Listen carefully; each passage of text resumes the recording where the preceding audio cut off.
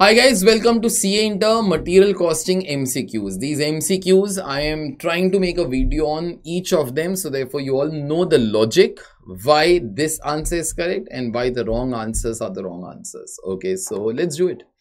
Which of the following is considered to be a normal loss for material? Normal loss is a loss that is expected to happen. Okay, there are two types of losses. One of them is a normal loss, other of them is abnormal loss. Okay, the example that I give in class is something like this. Uh, you went in your examination paper, there were supposed to be 10 questions. You knew in advance I will not be able to attempt 2. So therefore 2 is supposed to be a normal loss. So therefore you should have attempted 8 questions. You saw the paper, you could only attempt 5. 3 is abnormal loss, something that we did not know in advance. So which of the following is considered to be normal loss of material? That is a question, means loss that is expected to happen. Okay, so 4 options. A. Loss due to accidents. B. Pilferage. Pilferage means uh, theft, okay. Small kind of theft. C. Loss due to breaking the bulk. Whenever you are breaking the cartons, okay. Suppose like, you know, whenever you will buy from the supplier, you will be getting big, big cartons in which goods are there. You will be breaking those cartons, right. To take out the material from there. Losses might happen due to that. D. Loss due to careless handling of materials. Like goods are going from one place to another within the company. Okay. And then like, you know, some accidents happen, somebody drops it. So therefore goods break. So out of the four, to be very honest, all four can be the answers also. But out of the four, if you have to say one as the answer, which one it should be? Think, comment below.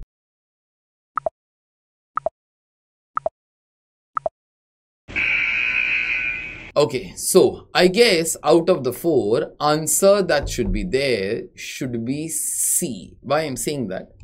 Loss due to accidents. Beta, when accidents will happen, only then you'll come to know. Okay, suppose the truck was carrying the goods and accident happened. This is one example of an accident. Okay, this when it will happen, you will know, no? How will come in your dreams here that one day accidents will happen. Okay, pilferage is again theft. Okay, these are abnormal things. Okay, it can be estimated also. I'm not saying uh, know for it but then usually all these things are abnormal. Once they happen then you come to be knowing of them. Okay? C loss sorry c due to loss due to breaking the bulk. As i told that should be the correct answer because uh, this is something like you know whenever goods are coming in big big numbers okay and they are packed whenever you will break the pack no some goods will usually break.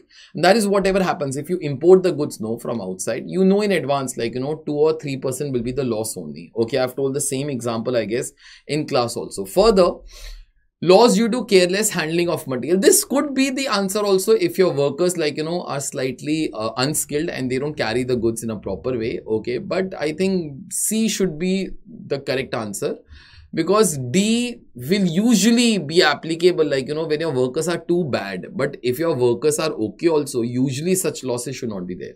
So answer should be C. Yeah, that's the correct answer. I'll see you all next time. All the best. Bye.